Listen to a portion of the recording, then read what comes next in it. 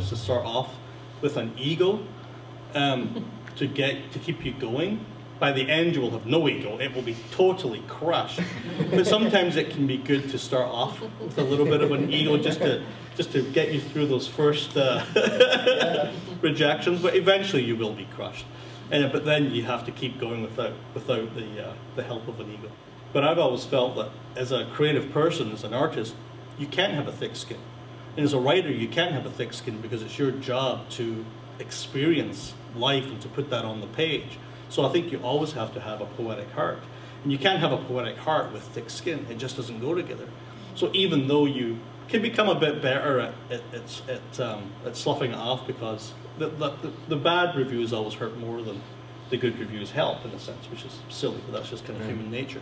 But um, I've never agreed with that thick skin persona, you know. And as a journalist, I should have ironclad skin, but it you can't be a writer and be hidden behind armor. You just can't. You have to expose yourself, and so when you do that, you're going to be hurt, mm. and you just have to learn how to how to deal with that hurt. Mm. But I don't think you grow thick skin. Yeah, no, I've I've always found that most of the negative feedback comes from mostly I've always said it's like people picked up the wrong book because you don't really get sort of critical analysis. I mean, you, when you're when you're going through the publishing stage and you have your editors and stuff like that, and um, and I think a lot of times what people think of as editors isn't really what what they do because um, editors are tend to think people that point out sort of flaws in your book that they see that the, that you then fix. The editor doesn't actually, you know, sort of fix anything. You have to fix it. And so sometimes through that stage, when you've got someone who, A, is on your side because they want this book to be the best it can be, um, their criticism is always constructive, you know.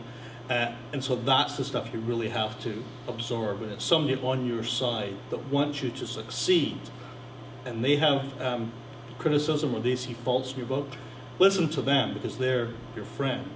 But the people who attack your book, um, in Amazon and things like that, those tend to be people who get upset by things that someone else loves.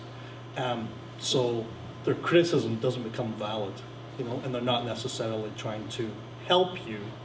They're trying to do something for themselves. They want to lash out at something. They had a lousy coffee in the morning and they read your book and, you know, like it, that, they're not necessarily helping you as a writer. You know, you, all, but you always listen to those people who are on your side and what they see as the flaws in the law.